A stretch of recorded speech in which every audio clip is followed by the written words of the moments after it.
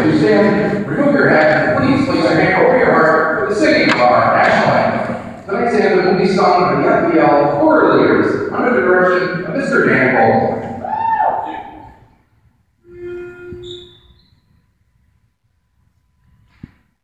Oh, say, can you see by the dawn's early light what so bright?